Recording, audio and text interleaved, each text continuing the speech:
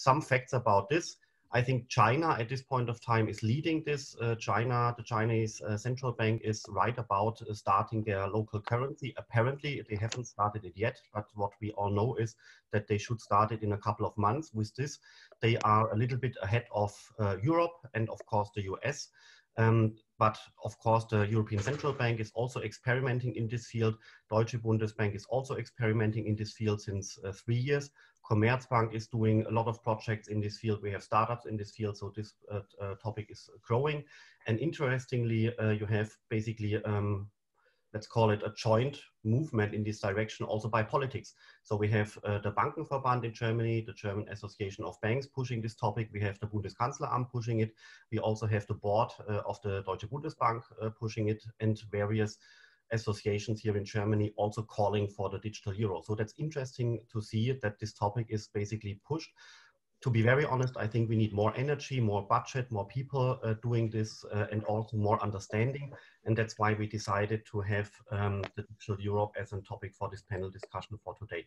To get um, started, I will quickly show um, an overview picture which we have drafted um, at the Blockchain Center last week. I think this is important to really know what we are talking about. Um, I hope you can see this uh, slide. What you see now here is on the very top that we will in the future have uh, so-called programmable money.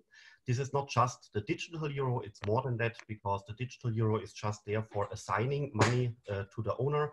Programmable money uh, is going much further because you then can also program money uh, such that uh, smart contracts can be executed uh, with the euro inside.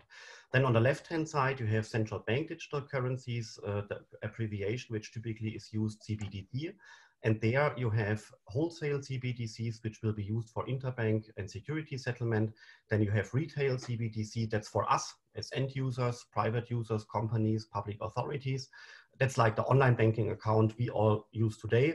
And in the future, potentially, we might also have some kind of machine CBDC when the IoT, Internet of Things uh, and machine economy, economy is coming in a couple of years.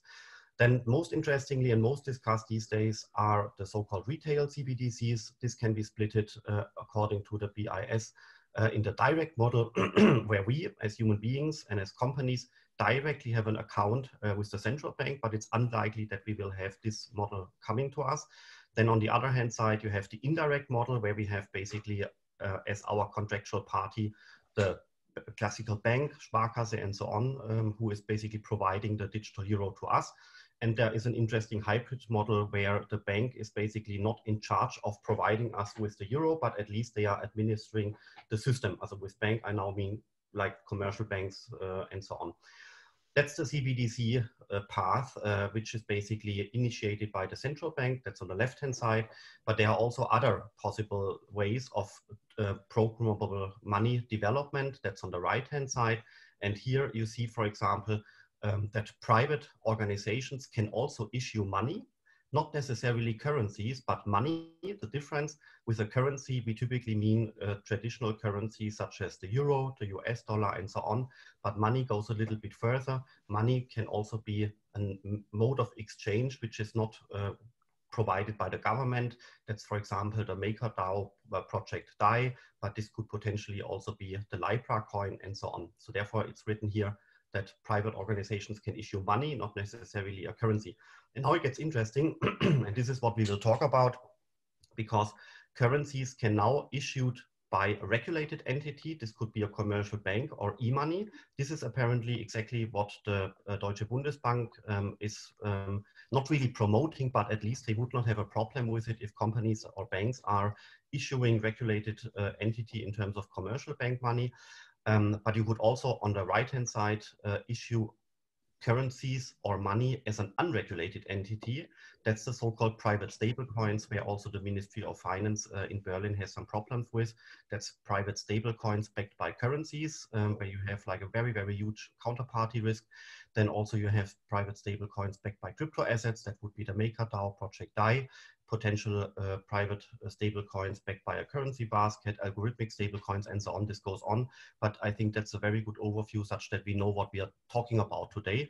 And I think today we are discussing um, on the on these uh, seven rectangles on the lower uh, part, we are discussing the left four, I would say so, especially the one in the middle where currencies are issued by a regulated entity. So I now stop this. I just uh, thought about providing this chart as an overview to uh, have it very clear what we are talking about. So sorry for this lengthy uh, introduction. I would now hand over to uh, each of the panel discussants, Benjamin, uh, Martin, um, uh, Thomas, and Max, um, such that they can very quickly present themselves, uh, what they are doing, what they are working on, and also to really get to know their perspective.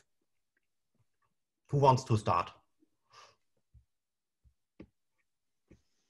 Benjamin Duve from Commerzbank. I'm the head of custody and direct market access. So I take care of uh, safekeeping of uh, our institutional clients' assets, as well as execution their uh, executing the orders on German and international exchanges and settling it into our uh, into our custody world.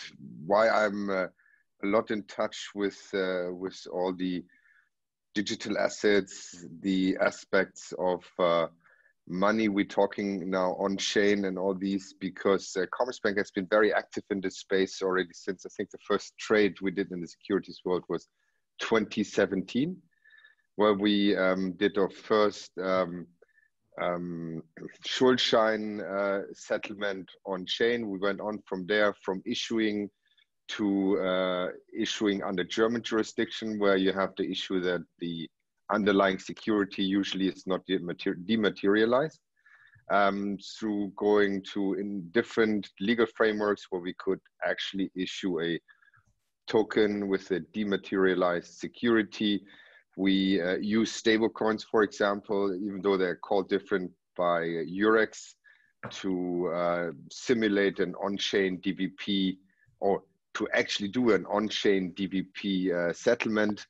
And uh, have now gone through the whole value chain. So basically, secondary trade, issuing, settlement, using different forms of uh, of money on chain to work through all the aspects we think are most important in the securities world. So that's uh, where I come from. Beyond that, Commerzbank is very active in that space with different partners in different um, different um, models. So we, for example, also go ahead and uh, have a, e, uh, a payments use case with Daimler where we use our e-money license to uh, go ahead and facilitate micro automated micro payments. In this case, uh, it was for a, for a truck. Um, we look into further applications of that currently, though nothing is uh, is uh, um, public yet. And um, we have all this range of different topics because it used to be, uh, we still have a main incubator and used to be one of the main focuses of our main incubator. But since we think the technology is maturing, um, the majority of staff has now joined uh, Commerzbank and uh, you can be uh, quite hopeful, as I am as well as an enthusiast, of course, that Commerzbank will soon roll out actual market uh, infrastructure or implementation of DLT or blockchain technology. Very interesting. What what does soon mean, Benjamin? Can't tell. Okay, perfectly fine. Okay, who wants to quickly present uh, uh his viewpoint uh, next? Uh, Thomas, maybe. Yeah, sure. Uh, my name is Thomas Nägele. I'm an attorney from Liechtenstein. Uh, I was uh, part of the work group uh, of the Liechtenstein government uh, drafting the Liechtenstein Blockchain Act, which might some of you already know. Um, I'm a former coder, so um, I, have tried to build that bridge between technology and, and law. And uh, so I, I, I mean, we, we, as a firm, we advised quite some some projects the last years and we saw everything from uh, the question when you do your fundraising campaign back in the old days, uh, for example, an ICO, if you would allow investors to use fiat uh, to invest and how complicated it was to accept fiat currency uh, to invest uh, or to buy uh, back then utility token. Uh, but uh, now we see a lot of financial intermediaries thinking of issuing their own um, coins, which might be e-money. Uh, others uh, think of have, uh, issuing stablecoins, private institution. Therefore, I really like your overview, Philipp. That was that was very good. That you have like the big picture. Um, and my opinion on that is actually, uh, and yes, we see all of these central banks now uh, talking about the project, and I think we need not all of them, but most of them we will need. So we will need e-money issued by, uh, let's say, banks. Uh, you see that in, in Switzerland already happening. Uh, you need central bank money as well in a, in a digital accessible way for sure.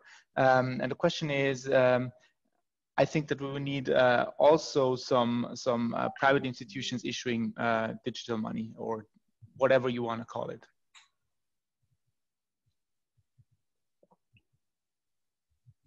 Perfect. Um, who wants to quickly present himself next? Maybe um, uh, Martin Diehl from Deutsche Bundesbank. Yeah, thank you very much. So my name is Martin Diehl. I work in the Deutsche Bundesbank, uh, heading a little group uh, doing analysis in payment and settlement system. And uh, we have been focusing on Bitcoin and uh, DLT now for a couple of years. Already in the times when people believed in that community that the central bank would vanish. Now we are talking about a digital euro, as you have heard. So times have changed, as you can see. Um, we focused from the very beginning in our uh, in our attention to those so-called currencies that money always needs trust, and we believe that central banks will have to play a role in that. Um, as for the question whether we need central bank money, uh, we were never that sure about. Uh, most trades nowadays are settled in commercial bank money and we still believe that this could hold for the future as well. Uh, that we will settle trade in commercial bank money, in digital commercial bank money. Uh, there might be cases where central bank money could be used, but I don't think it is necessarily though. In addition, we feel that some of the risk of issuing central bank, digital central bank money are not well understood by now. Uh, nevertheless, we are part in many working groups discussing those issues, also doing some experiments to find out more about it, how we could use it.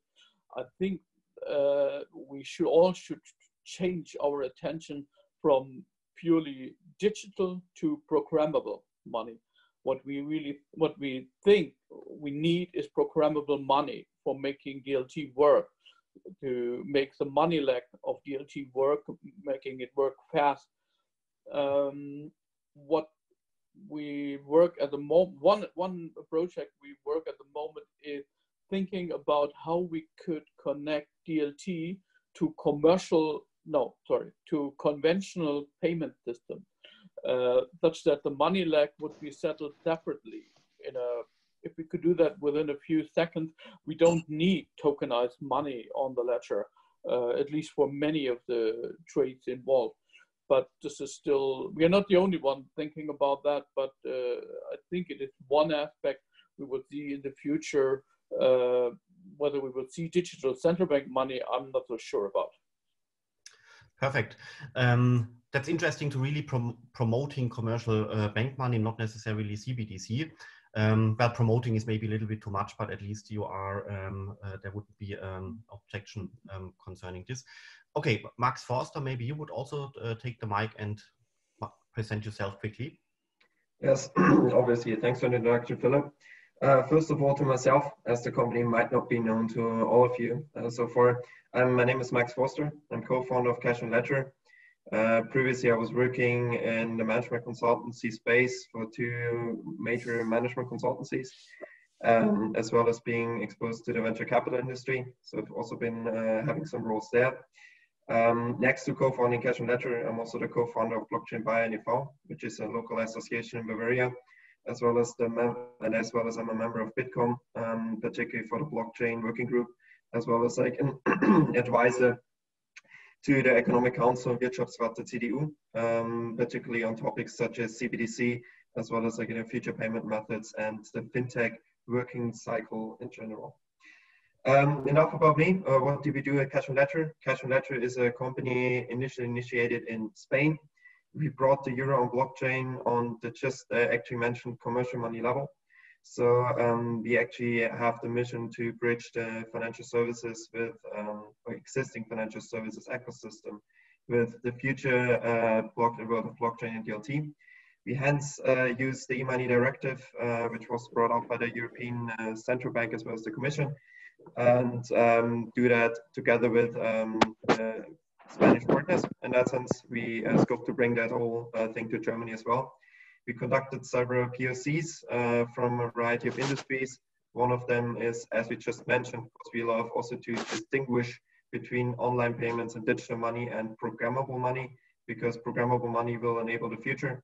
So one of our distinct use cases is the automated machine billing based on the programmable euro, as well as delivery versus payment issues, which we just meant, like heard from Benjamin as well. So um, this is where we're currently based on. We see, um, or we brought a solution on commercial money level um, for the statement, but um, whether it's in the future CBDC, which is then interoperable uh, between all the banks and we have an interbank clearing standard, or it still stays on commercial money level that only one single bank can do this in isolation. That's a point for after discussion. What we see currently is like the advancement of private stablecoins and uh, private uh, issued stablecoins such as Libra, or other uh, initiations, there will money will be will become competitive, and hence there might be a solution, at least for interbank clearing, to enable a programmable money standard for the entire region of Europe. Otherwise, as Phil, as you mentioned, China will lead on that topic, and uh, future business models and also talent as well as like startups will move over to China in order to with their business model. Mm -hmm.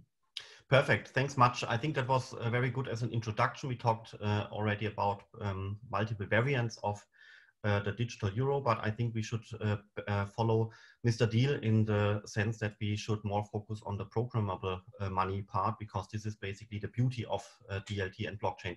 But now let's come to the point, um, why actually do we need um, cash on ledger? Why do we need euro on blockchain? Why do we need programmable, programmable money at all? So what are interesting use cases here. Maybe uh, Benjamin, you would like to start um, what you find most interesting use cases where the digital euro makes sense. As you said, there are two two important uh, two important aspects in, in in the whole structure. It's the securities world. So we don't talk about the old world, but let's talk about the new world. Once you have digital assets, um, you don't want to introduce new risks to that infrastructure by not having a T2S like uh, settlement. Meaning, nowadays, when you buy a security as a bank, we would be able to give your money to the central bank, more or less, and the central bank will get another person to give a security, and then there will be a handover of money and security at the at the central bank uh, level or the T2S level, meaning no risk, no counterparty risk so all the things you talk about in blockchain would not be there because you have the most entrusted party in the whole system at least um, guaranteeing that nothing goes wrong with that. So that's dvp if we talk about digital assets and we don't want to introduce new risks in that space we need some mechanism or some way and central bank money on chain would be one of those solutions to enable risk-free delivery versus payment of digital tokens against money across many different counterparties. I think uh, it was mentioned before, uh, interoperability, of course, is one of the, the, the, big topics here, but in general is risk reduction in the whole uh, ecosystem or the digital assets ecosystem, the same way we have it now in the traditional securities world. So that's one of the very important aspects we came across when doing all our different uh, our different topics in in the in the blockchain token area.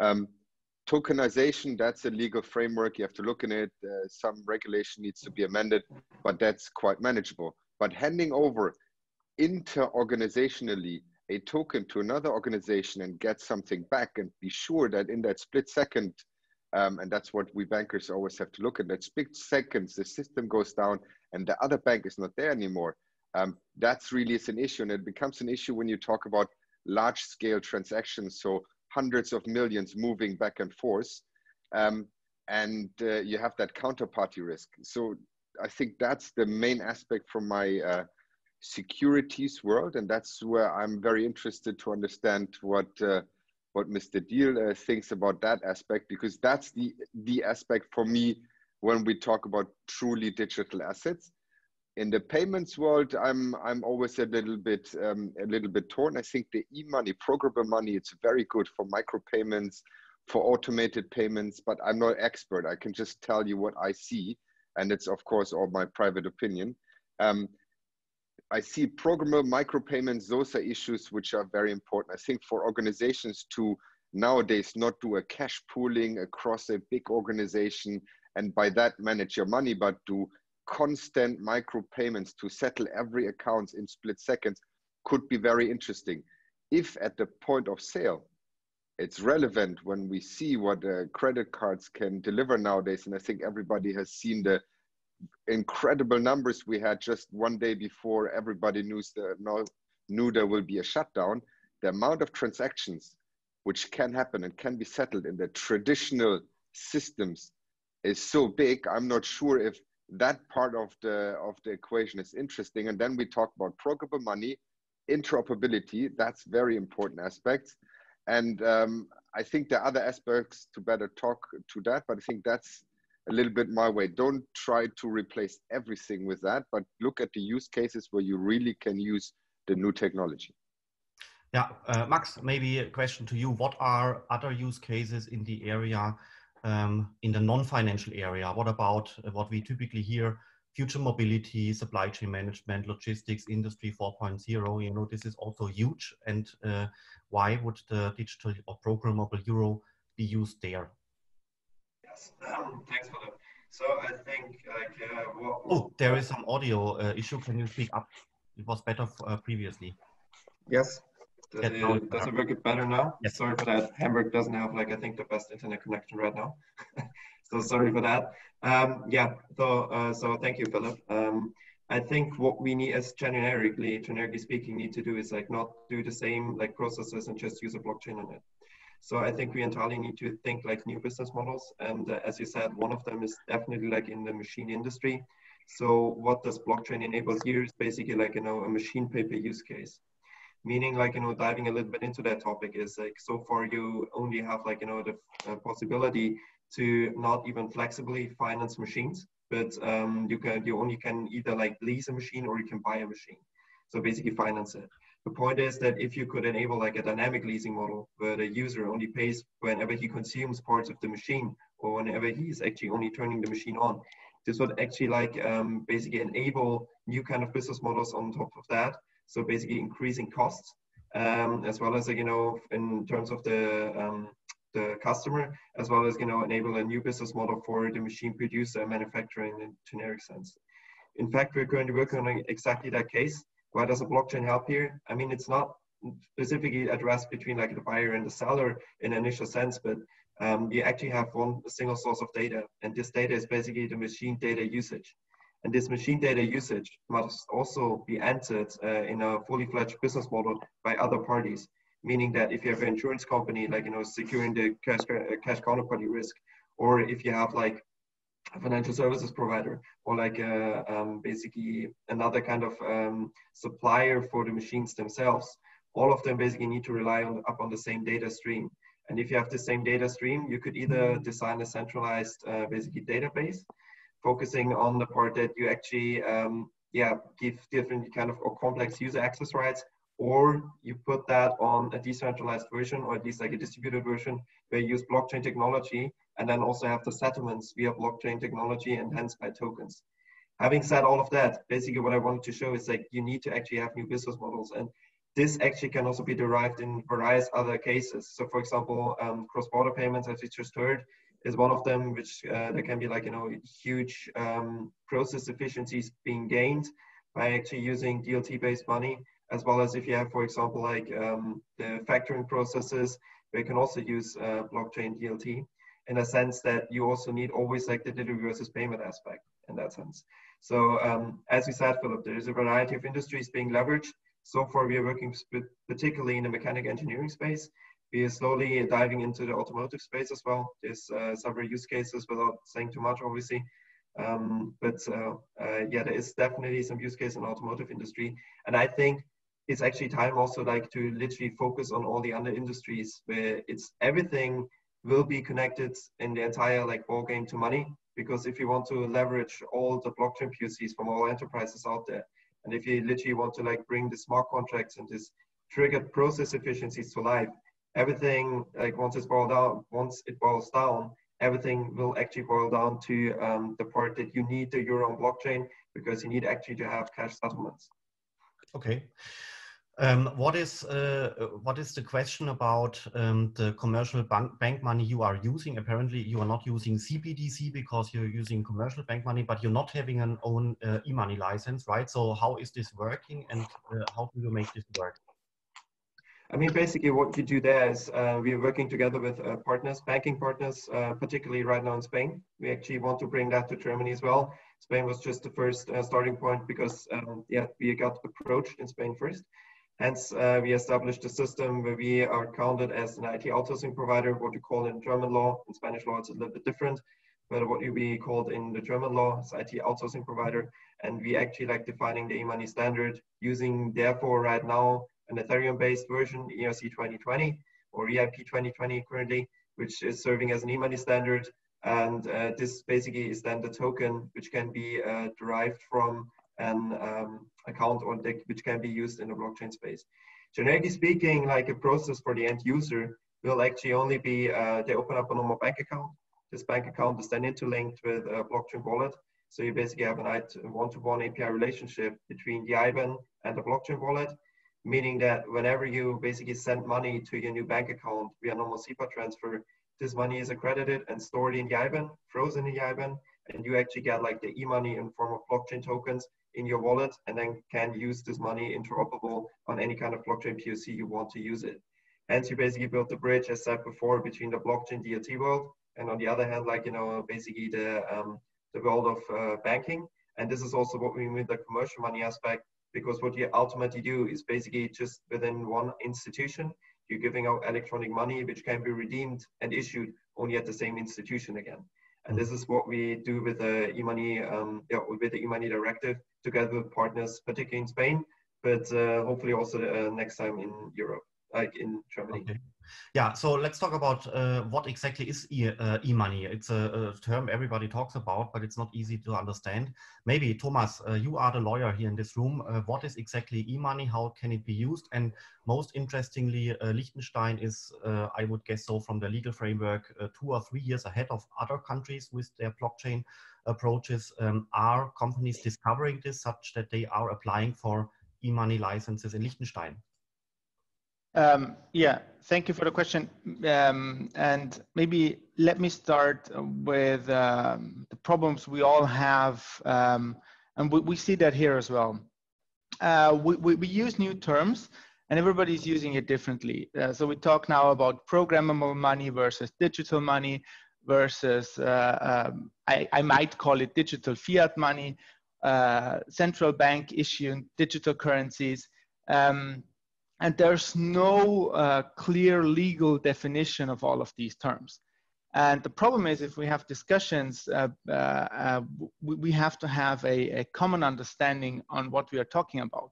And uh, therefore, I'm coming back to your slide again in, in the beginning, um, uh, that, that we, we have to have like the big picture, what we are talking about. And e-money is, is a clearly legally defined uh, regime uh, within the European Union. So it's not uh, something uh, which you can use globally from a, from a legal perspective. I mean, you can use it, but uh, it's, it's not uh, the same standard or might not be the same standard.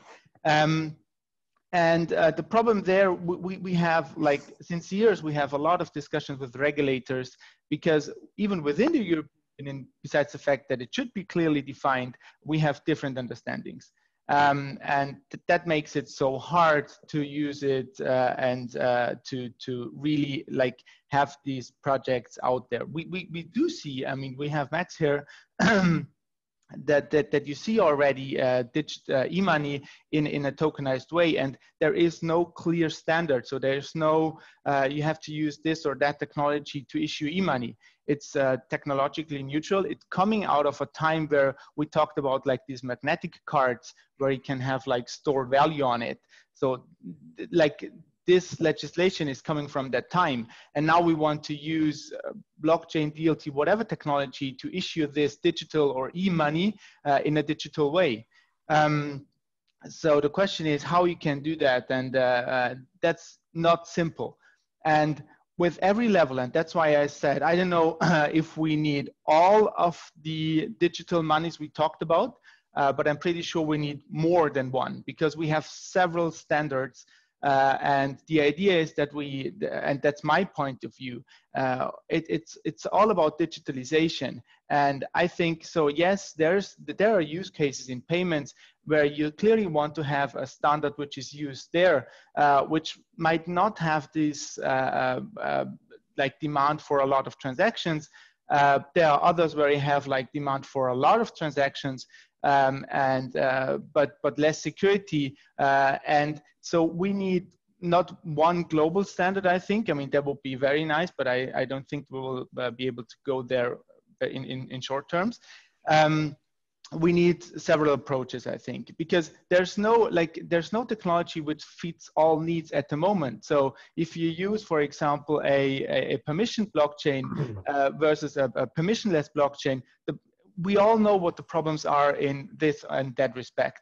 So coming back to e-money, what is e-money? E-money is actually, um, uh, as, as, we already heard, uh, based on the e-money regime in the European Union, uh, it's a one-to, it, it's a it's a digital money you issue, uh, uh, which you, you, get the claim for the same amount in fiat. So if I have a, let's say a a, digital euro e-money token, it's worth one euro and I can back to the issuing party and hopefully uh, get back. And why it's hopefully because there's there's a lot of regulation around it. What you have to do as, a, as an institution uh, uh, that you don't have this counterparty or that you lower the counterparty risk against the e-money institution.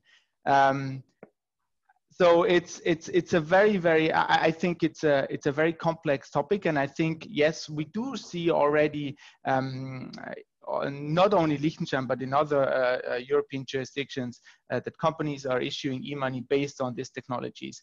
And uh, uh, to try to answer your question, Philipp, if that's something which we discussed in Liechtenstein, we did that quite intensely because um, um, we, we thought about this token economy of the future. And we said, okay, um, you, you need, uh, in, and this depends again for, for the use case. If you talk about the securities world, yes, you need delivery versus payment.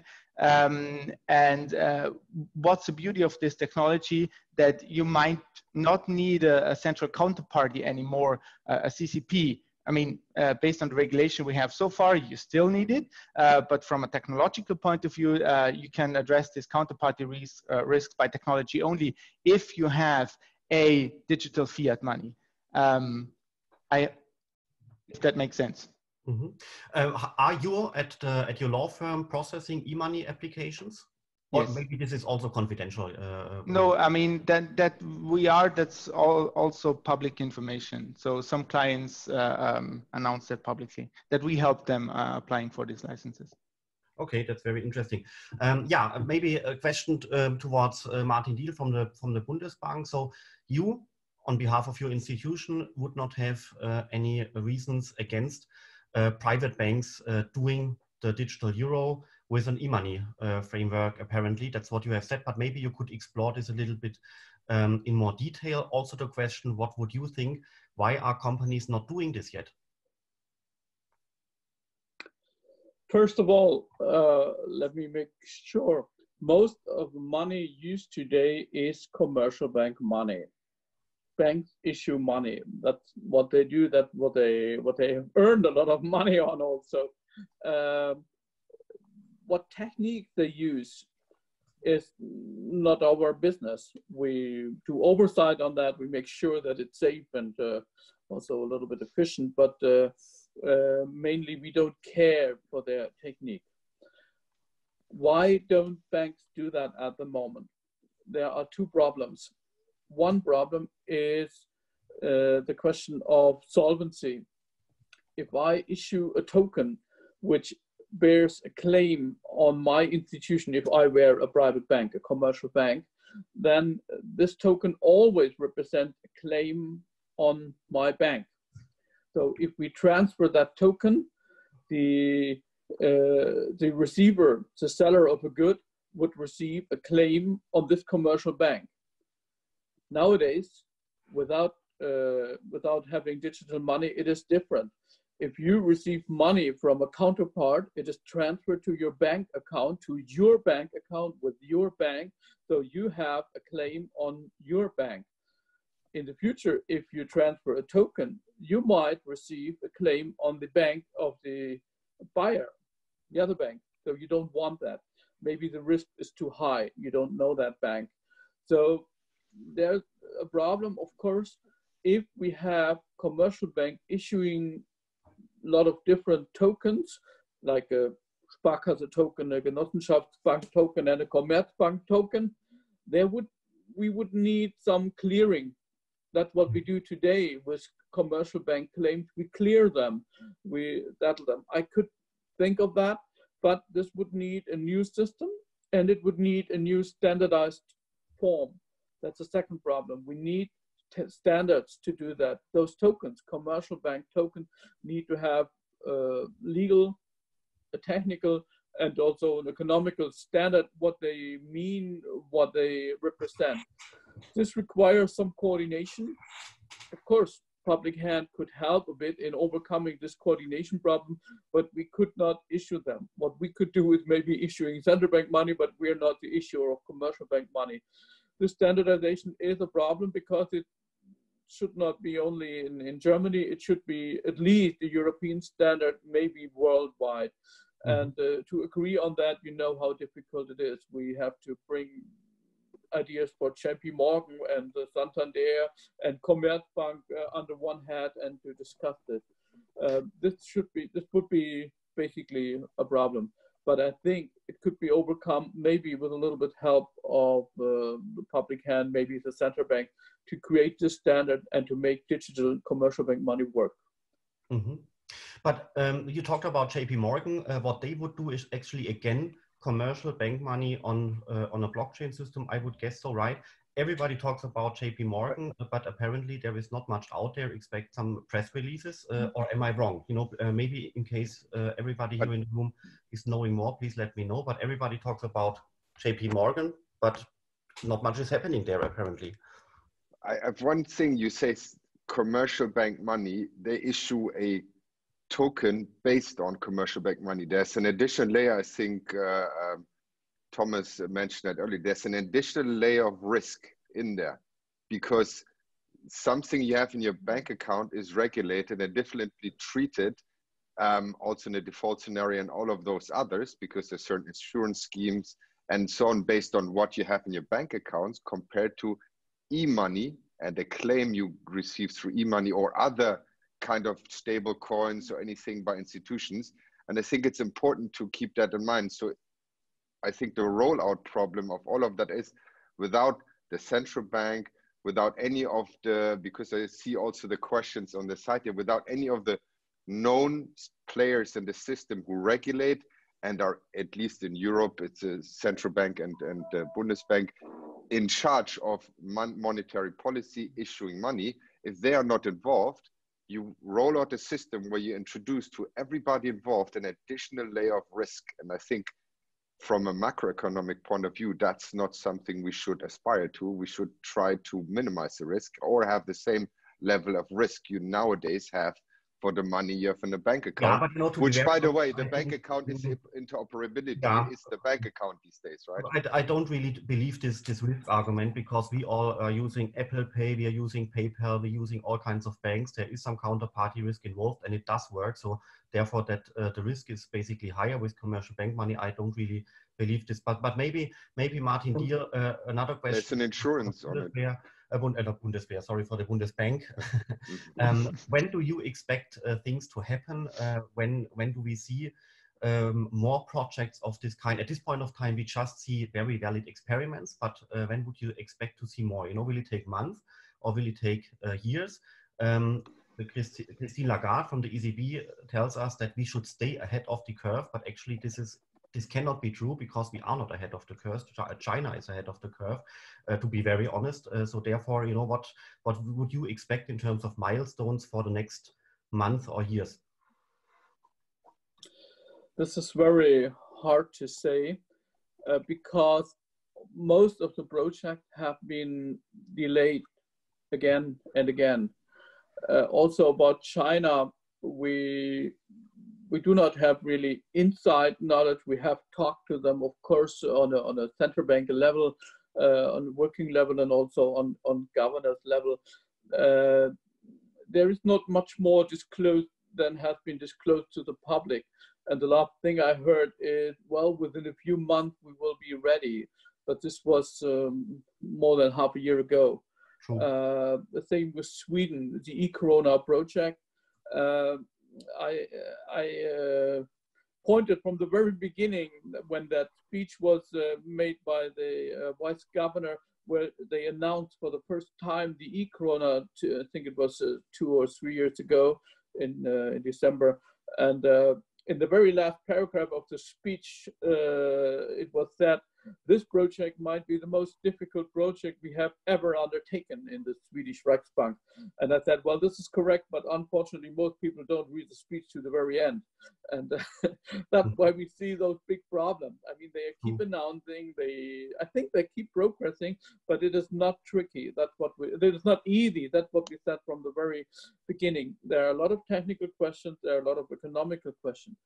What will be the, let, let me, let me, that's the stage. Where are we?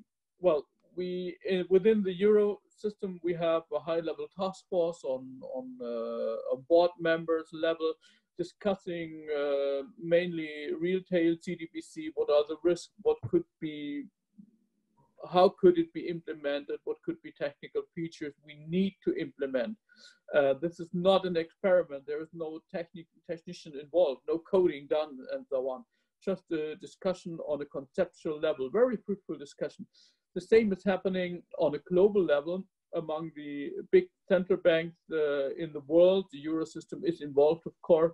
Uh, we discuss what it could be. I think let's think in a step-by-step approach. What could be a potential next step from central bank side? Um, an easier step than retail central bank money is wholesale central bank money, a wholesale token uh, facilitating uh, what Benjamin has talked about, uh, security settlement, making it faster, speeder, but only being available for those who have already access to central bank money. Why could this be a next step? Because it is much easier to implement. There's much less involved, operational, uh, much less risk involved, operational risk or economical risk, uh, because we know those actors. It will be a limited group, and uh, it will be from an operational point of view not that demanding as retail central bank, uh, digital central bank money will be. Another next step could be what we call the so-called trigger solution. A trigger from a DLT settlement to conventional payment system. This is something we put some hope in in the Bundesbank. If we provide a solution where you do a DLT settlement and the DLT settlement in the smart contract is halted for five seconds and triggers the payment via target two in central bank money. And the wholesale would be settled, the money leg would be done via target two. Then a token comes back, the token which entails the confirmation by the Bundesbank this uh, money has been transferred. And then the whole uh, settlement is uh, fulfilled by the smart contract. If we could provide that, it would at least do the trick for a lot of trade. It would not do the trick for those immediate uh, machine-to-machine payments, you know, where the car is standing at the traffic light and get some uh, some new energy, where you immediately need a coin. This, therefore, we would need definitely a coin, a token, uh, maybe commercial bank uh, money token. But a trigger solution to target two could be for security the solution. And wholesale CBDC could be a next step, but I wouldn't expect it to happen within within a year. It would lead to, at least take two years. It might my guess, but I don't know really. Interesting. Perfect. I've never heard about this. Uh, that uh, the, that you're thinking of building such a bridge between legacy systems and modern DLT systems. Are you? I, maybe you don't want to answer this, but are you operatively working on this, or is it still PowerPoint mode? Well, we, we have been talking about that in, in uh, public life at, at, a very conceptual level. Uh, of course, we also start doing more than con concept about that. Yeah. Okay. Um, I'm typically asking the question: What is what is a company or an organization doing? Coding or PowerPoint? Because that's basically the difference. Uh, what actually comes out. But it's it's it's amazing that uh, Bundesbank is pushing this. That's that's really good. Yeah, we have. Um, um, like two, three questions uh, from the audience coming up. Uh, in case there are more questions, please post them in the chat box. Um, one question would be now, and I think this is really crucial, what happens if there is a bug in the code, uh, smart contracts, locking in some money. Of course, we need some auditing. This is pretty clear. Uh, but uh, who wants to basically answer uh, in the panel the question, what happens um, if bugs are in the co code or how can we like guarantee audited code such that money is not lost, such that no hackers can intrude systems and so on. Who would like to take this question? I mean, oh, okay. okay, again, uh, Mr. Diehl and then, and then Max uh, afterward. Well, very short answer. That is one of the reasons why we always believe that only permissioned blockchain are the solution for the financial industry. We need someone to administer and someone to, uh, to take uh, responsibility for the governance of the whole system. If, if for central bank money, it should be the central bank and they should take care of it. Okay. As a bank, I can fully agree uh, on that. In my personal opinion, that's exactly what uh, what we as a bank would expect and where we feel most comfortable as having that central instance where you can go back and don't have the old school problems you had in the in the blockchain space where you suddenly have to uh, start a new chain uh, to undo mistakes in an un, un, un, unwindable smart contract, for example. But sorry, Max, I think it was. No, no worries. I think uh, I can also fully agree with that statement. I think if you have a look at like uh, the commercial bank integration, what you feel currently is uh, essentially that point. Like you need to have like um, a connection between a central part of the solution as well as like a distributed part of the solution. We see essentially like you know particularly in the financial services industry, Corda as one of and as well as private Ethereum clients as one of the like you know more particularly uh, involved technologies for the very reason that you know uh, all of it is going to be regulated and audited. So even if you have like you know a smart contract which is not fully deployable you at least have somebody you can talk to because your money will always be backed by the bank. So you know the money you will be given out in form of e-money is always backed at the bank meaning that whenever there's some money lost and you know as particularly saying in the distributed systems like all of the participants are going to be listed because you need to have a KYC and AML process beforehand. So you know all of the participants in the system. Hence, um, having said that, like you know the database structure and the connection between like you know the tokenization part on the e-money level as well as you know the smart contract, which is then deployed decentralized, distributed in a distributed manner. Like the money directly will be stored in the blockchain wallet, which are one-to-one -one backed by the IBAN having said that, like no money will be lost in that sense because if there's falsified transactions, you can basically reverse them by like you know the centralized entity and like you know ultimately by the bank being involved in the whole process. Okay, interesting. There's a follow-up question. Uh, would standardization of smart contracts, uh, would standardization of smart contracts be the problem, um, the solution to the problem, for example, with regard to bugs and uh, auditing?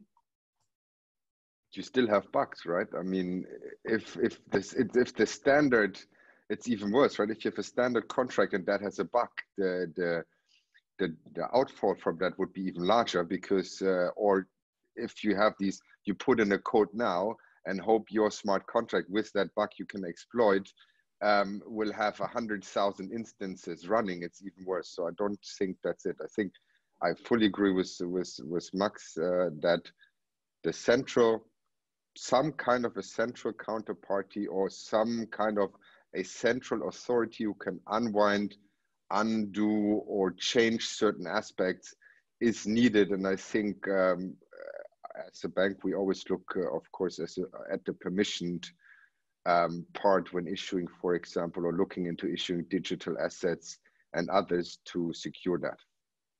Perfect. I think this was a very nice uh, closing word. Uh, the time has already been ended. I, actually, I learned a lot. Uh, thank you very much for your contribution.